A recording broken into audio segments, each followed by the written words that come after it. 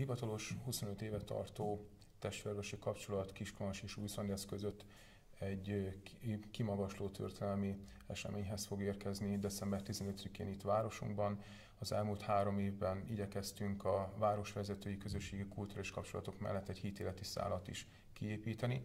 Ennek köszönhetően egy halasi énekkar énekelhetett már a krakói koronázó templomban, a Vável katedrálisában, 2018. júniusában pedig egy ajándékot kaptunk az új szandeciektől, az ottani bazilikában őrzött kegyképnek a másolatát hozták el ide Kiskunhalasnak, illetve néhány héttel ezelőtt, október 6-án pedig a Csensztóvai Ketye igazgatója mutatott be itt Szent Misét Kiskunhalason.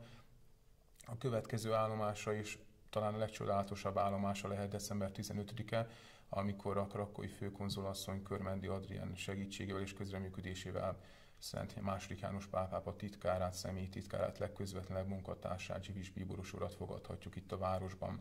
Én azt gondolom, hogy nem csak magának a katolikus közösségnek, hanem az egész város közösségének, és talán a környéknek is nagyon fontos és komolyan piros betűs ünnepnek kell lenni ennek a napnak majd. Szent második János Pál pápának a személyi titkára, Stanislav Zsivis nyugalmazott krakói érsek, Bíboros úr fog látogatást tenni egyházközségünkben. Most december 15-én délután 2 órakor tartja az ünnepélyes szentmisét.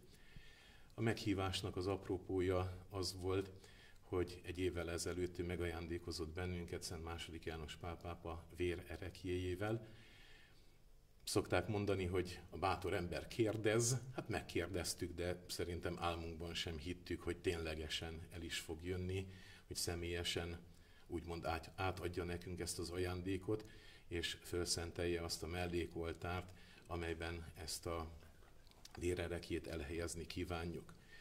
Kicsit szomorú, hogy maga az oltár nem készült el a maga teljes egészében, a fa része és azon belül az ünnepélyesebb, megvilágított erekjetartó, az csak valamikor tavasszal fog elkészülni, de elkészül a kő része, illetve az a festmény, amely Szent második János Pál pápát ábrázolja fiatalok között a 2000 évben, 2000-es évben rendezett ifjúsági világtalálkozó Szent kapujával, illetve az ott látható feltámadt Krisztus ábrázolásával együtt. Hát az alkalom ennek köszönhető.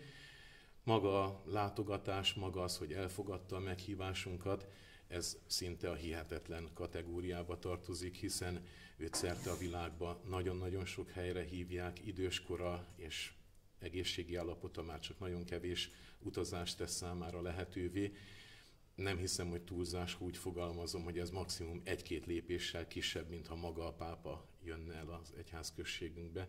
Úgyhogy ez valóban egy szinte felfoghatatlan megtiszteltetés a közösségünk számára.